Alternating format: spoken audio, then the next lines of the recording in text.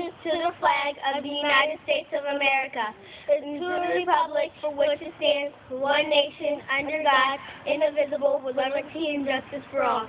Now, Now for for a school affirmation of Ele- Garfield East Elementary School.